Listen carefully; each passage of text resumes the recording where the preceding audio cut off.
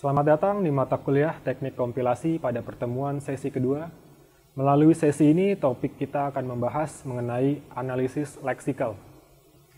Setelah kita mempelajari dasar kompilasi pada sesi sebelumnya, pada sesi ini kita selanjutnya akan mengulas satu persatu tahapan-tahapan yang terjadi dalam proses kompilasi. Fase pertama dalam proses kompilasi adalah fase analisis leksikal. Fase ini terjadi dalam fase fungsi analisis atau front end. Analisis leksikal juga disebut scanner.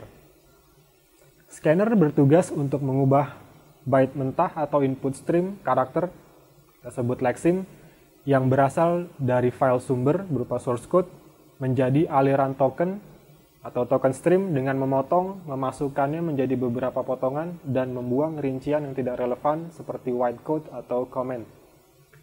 Kata leksikal dalam pengertian tradisional berarti berkaitan dengan kata-kata. Dalam hal bahasa, bahasa penguraman dalam hal ini, kata-kata adalah objek seperti identifier, variabel, angka, kata kunci atau keyword, dan lain-lain.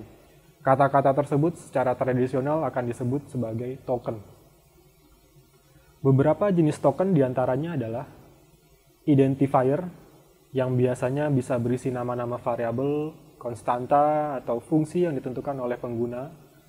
Yang kedua ada keyword yang berupa fungsi atau kata-kata yang disediakan dalam bahasa penguraman. Yang ketiga ada separator.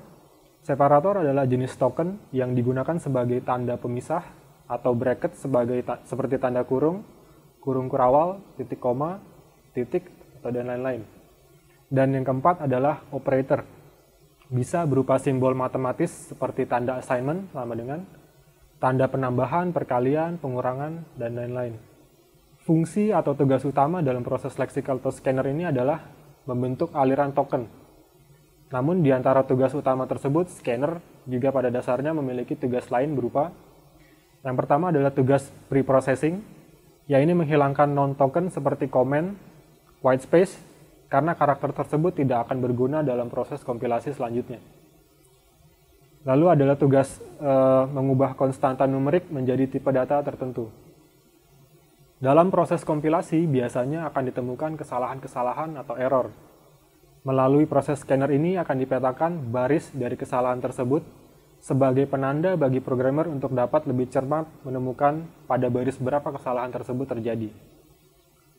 Dalam proses scanner ada yang disebut dengan tokenizing, yaitu adalah proses pembuatan token dari input stream. Sebagai contoh, misalnya kita memiliki kode sebagai berikut. div sama dengan 6 dibagi 2. Pada proses tokenization, maka kode tersebut akan diidentifikasikan menjadi table berikut. Di mana adalah yang menjadi lexim, div, assignment sama dengan, numeric 6, tanda bagi, dua, dan titik koma yang akan diidentifikasikan, diidentifikasi menjadi token-token di kolom sebelah kanannya. Demikian pembahasan singkat untuk materi ini diharapkan dapat menjadi panduan awal dalam pembelajaran mandiri kalian di sesi kedua. Terima kasih, selamat belajar, dan sampai jumpa di video pengantar berikutnya.